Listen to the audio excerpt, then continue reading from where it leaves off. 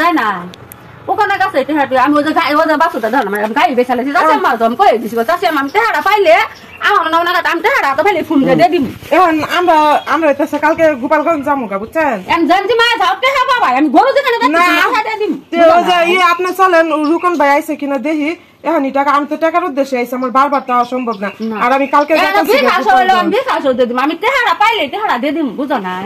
চলেন রুকন ভাই যেহেতু আইতে কইছে তাহলে নিশ্চয়ই রুকন ভাই তো না তাহলে ও বুঝাইতে আপনি ওনাকে ফোন দেন তাহলে উনি হয়তো আমি তো ব্যবস্থা করবেন। মোবাইল ফালি না। আচ্ছা নাম্বার আছে ওনার? নাম্বার আছে? না। আসসালামু আলাইকুম সবাইকে welcome to my new blog আজকে আমরা যাচ্ছি আমাদের গ্রামের বাড়িতে। তো যাওয়ার কারণ হচ্ছে আমার এক জেঠি মানে জেঠি হয় সম্পর্কে তো ওনার কাছে কিছু টাকা পাই। তো অনেক দিন যাবৎ ঘোরাচ্ছে। তো আমরা আজকে যাচ্ছি ওখানেই মানে শুধু টাকা নেওয়ার উদ্দেশ্যে যাচ্ছি, আর একটু রাগ রাগ মুড নিয়ে যাচ্ছি, কারণ এই রাগ রাগ ভাবটা না থাকলে ঝগড়া আসবে না, ঝগড়া করতে হবে, কারণ সে অনেক দিন দুই বছর হয়েছে টাকা নিছে, আর এই দুই বছরই মানে এত তাল বাহানা করছে মানে কোনোভাবেই একটার পর একটা অজুহাত আছেই।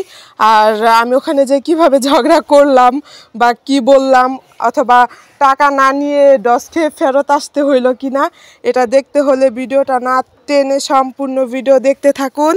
আমরা রাস্তায় এসে রিক্সার জন্য দাঁড়ায় আছি। এখান থেকে রিক্সা দিয়ে ফার্স্টে আমরা যাব হচ্ছে গেট পার। তারপর ওখান থেকে অটো পাওয়া যায় বাড়ির।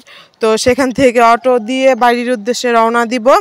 আর বেশিক্ষণ সময় লাগে না, বিশ, পঁচিশ মিনিট সময় লাগে অটো দিয়ে যাইতে। গেট পার আসার সাথে সাথে আমরা অটো পেয়ে যাই। আর পাবোই না বা কেন? কারণ হচ্ছে জামালপুর শহরে অটোর অভাব নাই। একদম মানে পুরো রাস্তা গিজ গিজ খালি অটো তো আসার সাথে সাথে আমরা অটোতে উঠে যাই আর এখন যাচ্ছি এখনও শহরেই আছি, শহরের ভিতরেই আছি আর শহরের ভিতরে মোটামুটি ভালোই যানজট থাকে আর শহর থেকে একটু বের হলেই এত ঠান্ডা বাতাস আর মানে এত ভালো লাগে, একদম ইজিভাবে অটো চলছিল। সামনে কোনো যানজট নেই, তারপরে কোনো প্যাতপুত শব্দ নেই আর চারপাশে ফাঁকা ধান ক্ষেত মানে খুব ভালো লাগছিল।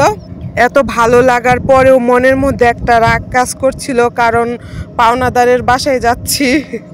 মানে একটা খিটখিটে ভাব ছিল, মেজাজ ওনার মানে ওনার এই ইয়ের জন্য, কি বলে, ঘোরানোর জন্য আমাদেরকে এত কষ্ট করে এই বাড়িতে যেতে হচ্ছে। আর বাচ্চা নিয়ে যাওয়া তো খুবই কষ্টকর মানে একটা এক্সট্রা ঝামেলা।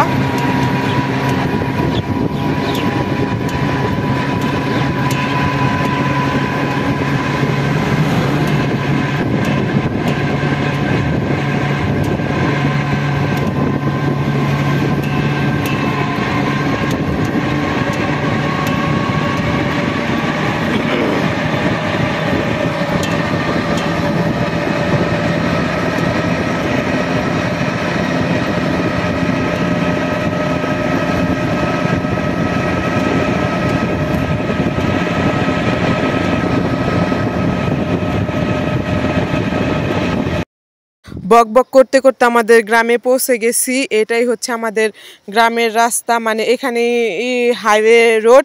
তো সেখান থেকে নেমেই ডাইরেক্ট এই রাস্তা সামনে, একটু সামনে হচ্ছে আমাদের বাসা। আর পাওনাদারের বাসা আমাদের বাসা ছাড়াই আর একটু সামনে দুই মিনিট লাগে যাইতে, তো এরকম। এখন আমাদের বাসায় তো মানুষজন নাই তালা দেওয়া, এর জন্য আমরা সরাসরি পাওনাদারের বাসাতেই যাচ্ছি। আর যেতে যেতে ভাবছিলাম যে পাওনাদারের বাসায় যে আমার রিয়াকশনটা কেমন হবে মানে কি বলব আমি ফার্স্টে তো তাই ভাবছিলাম। হাঁটতে হাঁটতে আমাদের গুরুস্থানের সামনে চলে আসলাম, আর এই গুরুস্থানের সামনে আসলে কেমন জানি মানে অটোমেটিক আমার চোখ দিয়ে পানি চলে আসে, খুব আবেগী হয়ে যায় কারণ এই গুরুস্থানেই শুয়ে আছে আমার নানা।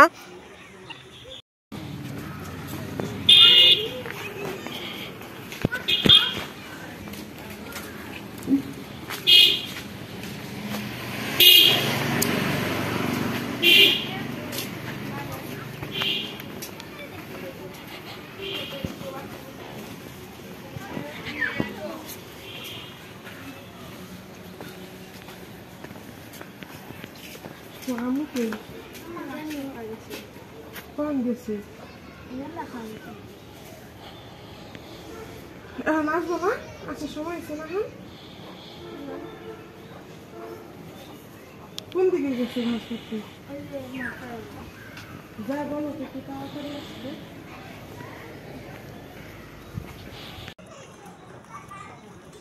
এটাই হচ্ছে আমার পাওনাদারের বাসা আয়সা দেখি পাওনাদার ঘাস কাটতে গেছে। তো পাওনাদারের মেয়েকে পাঠাইছি ডাইকে নিয়ে আসার জন্য। আজকে টাকা না দিলে খবর আছে না? অল্প কিছু টাকা মানে বেশি টাকা না একেবারেই অল্প কিছু।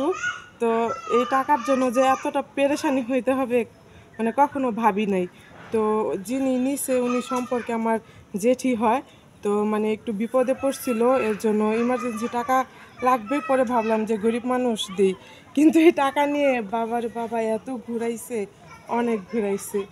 তো এই আর অল্প কিছু টাকার জন্য আমাদের অনেক টাকা খরচ হয়ে গেছে যাতায়াত ভাড়াই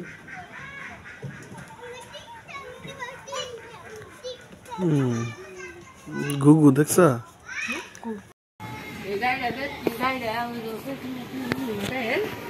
সেইটা উকানের কাছে উকানের কাছে এই যে দুই ইন্দার আন্ডা হইলে আছি গাড়ি নিয়ে দিছে করি মেরি। দিছে সাত মা ওর কই দিছে? সোমবার জমিন করল বাবু আসলে টেহারা দিব। এই রুকন ভাইয়ের কাছে ফোন দিছিলাম আফা ফোন দিছিল। রুকন ভাই কইলো? কইলো যে দিনার তাইলে পাঠাই দেন আমি জামালপুর আছি আমিও বাইর যাইতাছি। এই কথা কইছে রুকন ভাই। ওখান তো আহে নাই। তখনই তো কইছে অনেক দুপুর বেলা ফোন দিছিল। Tony, com esses amigos, bate tá se tele de night essa. Tá tá maga se dai né, ucon. Tá ucon vai casana? Ha, tá ha maga se dai na. उकन गासे त्यहाँ त्यो हाम्रो गाई वजन बासु त धर्म गाई बेचाले चाहिँ दसैँमा छौँ कोही दिसको दसैँमा पनि त्यहाँबाट पाइले আমার আমরা আমরা কালকে গোপালগঞ্জ যাব গা বুঝছেন? আমি জানছি মা যাও টেহা বাবা আমি গরু যেখানে না। দেখছি দিম। তো ওই যে ইয়ে আপনি চলেন রুকন ভাই আইছে কিনা দেখি। এখন টাকা আমি তো টাকার উদ্দেশ্যে আইছি আমার বারবার তো সম্ভব না। আর আমি কালকে আমি পাইলে দিয়ে দিম। বুঝো না? চলেন রুকন ভাই যেহেতু আইতে কইছে তাহলে নিশ্চয়ই রুকন ভাই তো না আপনি ওনাকে ফোন দেন তাহলে উনি হয়তো ব্যবস্থা মোবাইল ভালো না। আচ্ছা নাম্বার আছে না ওনার? নাম্বার আছে। না।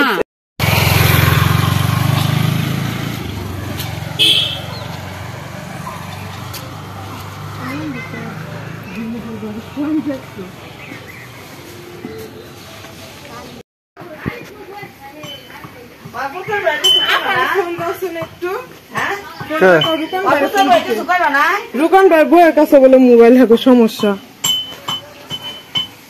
কারে ফোন দিবে এখন তাহলে? এখন আসার পরে আসলে ও ব্যাপারটা বুঝলাম যে কি হয়েছে তো এখানে আহ, জেঠি তার গরু বিক্রি করছে ঋণ দিবে বলে। তো বিক্রি করছে হচ্ছে উম, ষাট সত্তর হাজার টাকা দিয়ে। তো এই বাড়িরই একটা মহিলা ওনার কাছে মানে জেঠির কাছে ষাট, পঞ্চাশ হাজার টাকা পাবে। তো উনি মানে গরু যে বিক্রি করছে, সেই টাকা জেঠির হাতেও যায় নাই। তো সেই টাকা ওই বৃদ্ধ মহিলার যে নাতিন আছে, সে ডাইরেক্ট মানে যার কাছে গরু বিক্রি করছে, তার কাছ থেকে ওই লুকে নিয়ে নিছে। মানে তার পাওনা টাকা সে নিয়ে নিছে। এখন জেঠির হাত পর্যন্ত টাকা পৌঁছায় নাই আর সে টাকা নিয়ে আরেকটা মহিলা টাকা পায় ওই জেঠির কাছে। তাকেও টাকা দিয়ে দিছে ওই ওই বৃদ্ধ মহিলার নাতিনি টাকা দিয়ে দিছে আরেক মানে মহিলাকে। ওই জেঠির কাছে আরেকটা মহিলাও টাকা পাইতো। তো এভাবেই টাকা শেষ। তো মাঝখান থেকে আমি ফুক্কা। আর এখানে এসে আর আরেকটা মানে আমার সম্পর্কে মামি হয়, তো তার কাছে শুনলাম যে উনিও নাকি টাকা পাবে বেশ কিছু। আরেকটা মহিলাও টাকা পাবে ওই জেঠির কাছে, ও ওদের টাকাও দেয় নাই। তো পরে আমি জেঠিকে বললাম যে যেভাবে পারেন আমার টাকা ম্যানেজ করে দেন, আমি কালকে চলে যাব। বারবার তো আসা সম্ভব না। তো উনি আমার কথা শুনে দৌড়ায় কোথায় যেন গেল মানে যায় হয়তো বা ম্যানেজ করার চেষ্টা করতেছে, দেখি কি হয়, ম্যানেজ করতে পারে নাকি। তো দেখা যাক, অপেক্ষা করি। আর অন্যদিকে আয়ানের বাবা আয়ানকে ছাগল দেখাচ্ছিল মানে এদিকে আশেপাশে নিয়ে ঘুরছিল। তো আর আমি জেঠির পিছন পিছন ঘুরছিলাম। তো একটা মজার বিষয় হচ্ছে মানে জেঠির পিছন পিছন ঘুরতে ঘুরতে হঠাৎ দেখি যে জেঠি নাই। মানে চোখের পলকে নাই হয়ে গেছে। পরে আইসা আমাদের বাসার সামনে অনেকক্ষণ দাঁড়ায় আছি। ওয়েট করছিলাম, পরে অনেকক্ষণ মানে পনেরো বিশ মিনিট পরে উনি আসলো। পরে আইসা বলতাছে যে কালকে মানে আজকে কয়েক জায়গায় খবর নিয়ে আসছে, তো কালকের মধ্যে যেভাবে হোক ম্যানেজ করে আমাকে জানাবে ফোন দিবে। পরে আর কি করার সেটা শুনে তারপর চলে আসলাম। এখন জোর করে তার কিছু করার নাই, কিছু করাও যাবে না। আজ এ পর্যন্তই, আর পরের আপডেট পেতে চোখ রাখুন আমার চ্যানেলে। তো সবাই ভালো থাকবেন, সুস্থ থাকবেন। আবার দেখা হবে পরের ভিডিওতে। আল্লাহ হাফেজ।